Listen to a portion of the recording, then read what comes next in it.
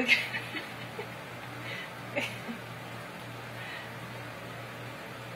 at his eyes. He loves it though.